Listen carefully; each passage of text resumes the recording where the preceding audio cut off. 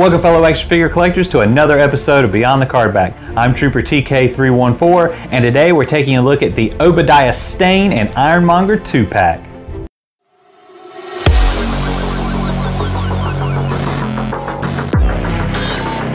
That's right guys, today I got my pre-order from Target and it is the Obadiah Stane and Ironmonger 2-pack. But if this is your first time to my channel, go ahead and hit that like button, hit that subscribe button, and turn on notifications so you don't miss any future uploads. And with that being said, let's go ahead and go beyond the card back and get a closer look. After a long stint as second command of Stark Industries, Obadiah Stane is eager to exact revenge on Tony Stark and suits up as the powerful Ironmonger to threaten Iron Man.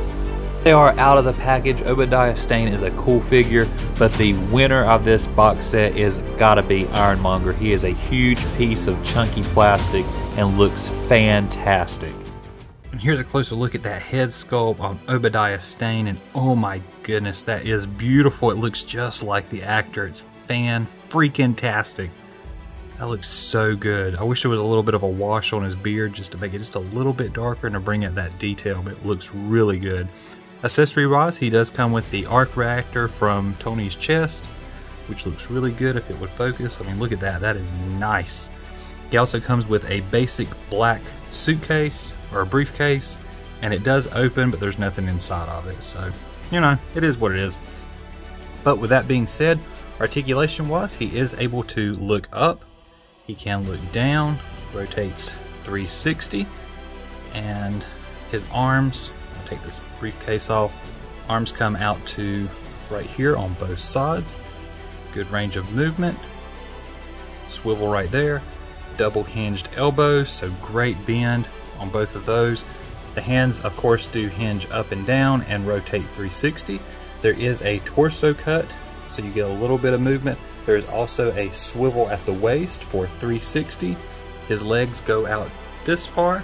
There is a thigh swivel of course, we've got double knees, fantastic.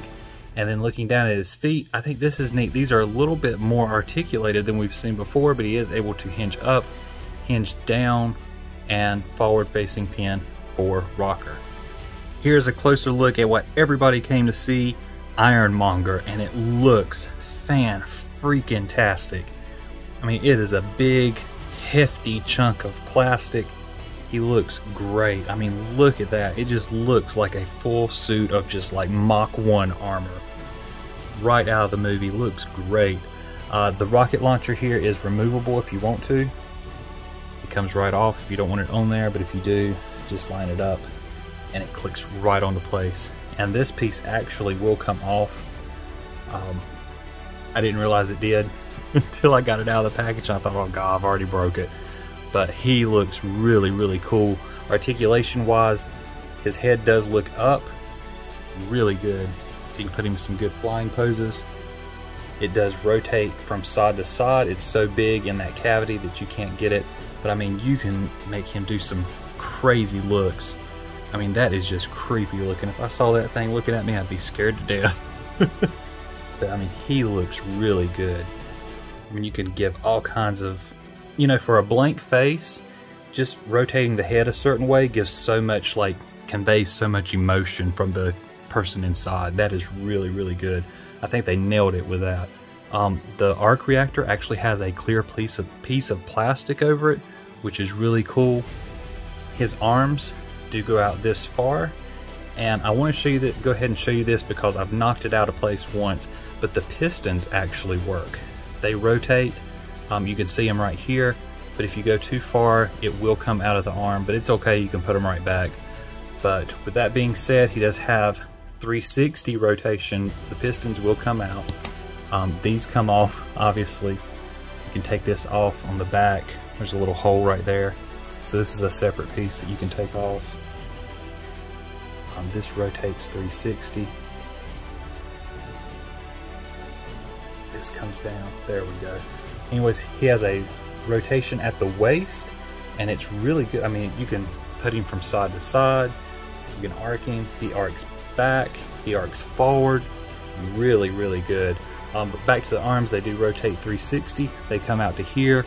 The articulation is really well hidden with this mechanical look. Um, the arms right here do rotate, hold on, 360 right there. They come up to a little bit less than a 90 degree bend. Come on, focus camera. But looks good. I mean, look at the missiles right there. Those look great. Look at that. The detail is fantastic. The hands are on a hinge. They can hinge up, hinge down. There's some more detail right there. They can also rotate 360. Um, looking down, there's that waist swivel again. Looks really good. This arm has the uh, machine gun. Looks really cool. I mean, look at that. That is so freaking cool. Like, I'm, I'm really excited about this figure, if you can't tell. I was waiting a long time for this one. I love it. I just love how big it is, everything. I'm looking at his legs. They don't go out that far. You can kind of angle them a little bit, but that's as far as they're going to go. Um, the swivel is actually right here at the, well, it's right here, but it looks like the hip. But it doesn't rotate 360, but you do get a good range of movement. And then looking down at the knees, you do get a little bit of a 90 degree bend. And then these don't really, the whatever these cylinders don't work right there, but he does face down. They hinge up just a little bit. But what's cool is there is a forward facing pin for rocker. So that's really cool. This figure is, I think, a must have. I'm really impressed with it. But let's go ahead and take a look at some of his accessories. Accessory wise, he does come with this blast effect here that we've seen before with other Iron Man. Of course, the gold bullet chain, which is really cool. Um, you can pull both of these out, they just snap in. And he does come with a smoke piece, so which is kind of cool. Just goes right into the barrel, and there you go, and that's as if he finished firing.